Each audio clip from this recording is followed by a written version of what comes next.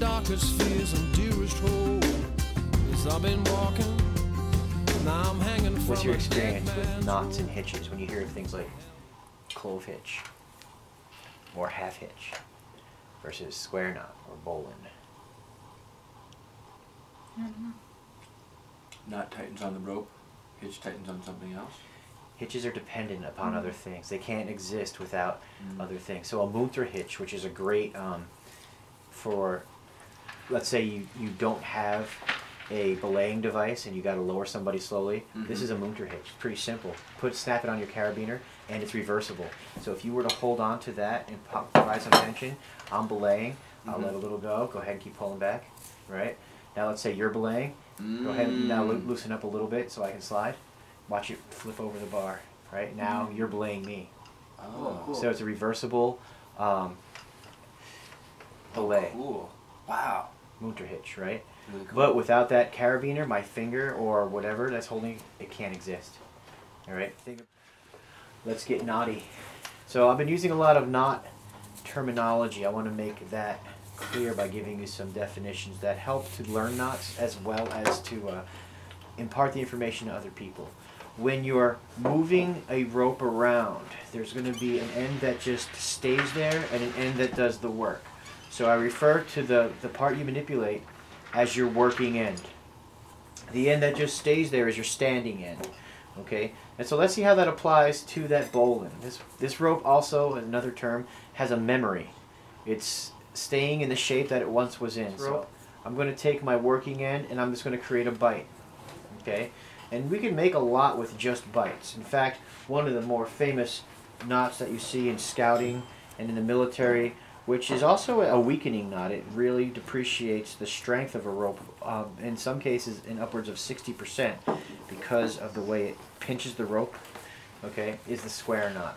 And now I'm going to share with you two different knots. One is called a square knot, and one is called a thieves knot. And all we're doing is we're creating two bites that interlock with each other.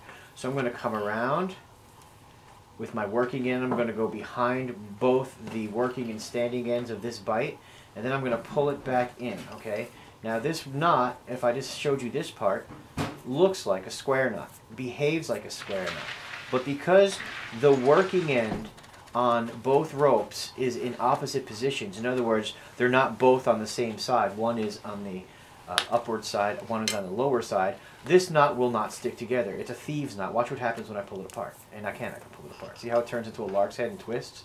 Right? A square knot won't do that. So let's do that again. Making a square knot, we'll have the working end facing away from me or on the other side of the standing end with you know perspective where I'm sitting. And we're going to do the same thing with this rope so that it does the same thing.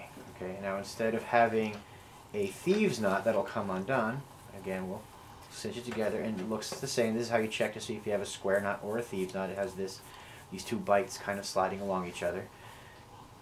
There we go. There's a knot that is used to attach two ropes together similar to the square knot. The only modification is that you don't make a bite, you make a loop.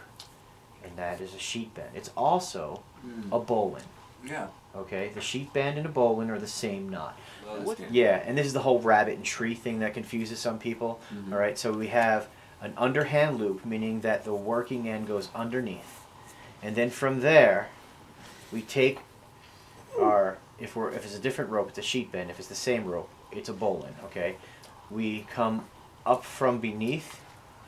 We go around the working end, and back down into that underhand loop, and pull both ends tight. Mm. Again, if this were a separate piece of rope, we'd have, if this were a separate piece of rope than this, we'd have a sheet bend. But now we have a bowline.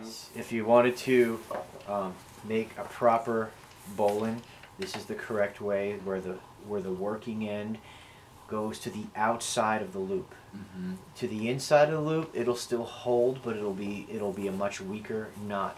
Every time you make a knot in a rope, you weaken the rope if there's a breaking point, have you ever pulled something heavy with a rope where you tied a knot? It usually breaks at the knot, and that's because it's literally uh, cutting itself in half from all that torque and tightening. Okay, So we tie bowlines as a fixed loop at the end of a rope. There are all different kinds of knots we can use to tie at the end of a rope to make a fixed loop.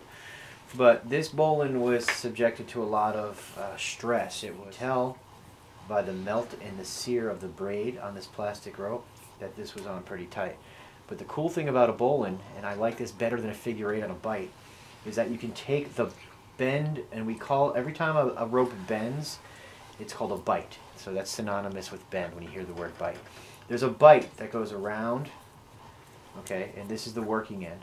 It goes around, up through an overhand loop, around the standing end, creates a bite around the standing end, it goes back down into that overhand loop. This bite is what we use as a quick release for bowline knots. Figure eights don't have that, they cinch. So what you do is you turn your knot over, put your thumb on the bite, and then bend it forward. And it automatically loosens that knot. No matter how much strain, unless the plastic physically uh, melts into itself, um, you should be able to get that knot out. Uh, the exception would be some natural fiber ropes are pretty gnarly and have a lot to grip onto.